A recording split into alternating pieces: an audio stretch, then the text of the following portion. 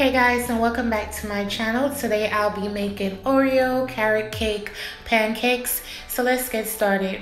You will need some box cake. Your favorite brand is fine. You're going to need some milk, whipping cream, condensed milk, cream cheese, all the works. It will all be in my description box.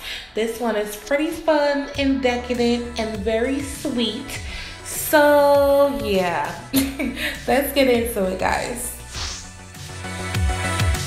First, I'm gonna work on the cream cheese filling, which is this cream cheese, some vanilla, and condensed milk. You can alter this to how sweet or not sweet you want it. You can also use plain milk if you don't want it to be sweetened at all. And this, but this is the consistency that you're looking for. Next, I'm gonna put my carrots in the food processor along with my milk because I wanna puree them together and get it nice and smooth. Please don't have big chunks in your um, pancakes. Next, you want to measure out according to the directions on the back of your package. You also want to spice things up.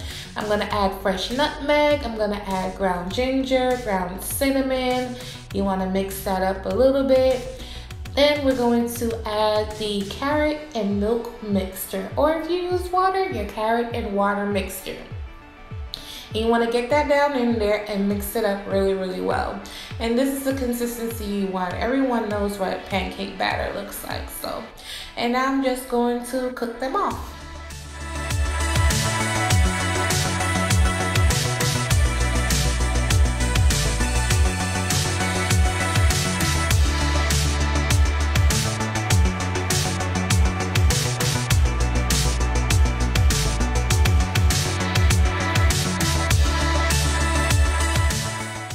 Now we're on to the Oreo cookies. You want to take the filling out and put the cookies in a bag and just crush them, crush them, and crush them.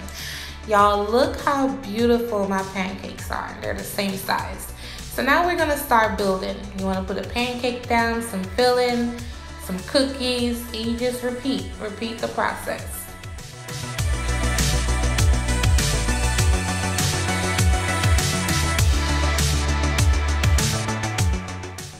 And then I just finished the pancakes with some whipped cream and some more cookies on top. Uh, clearly I didn't adjust my camera properly. Okay, there we go. We can see it a lot better.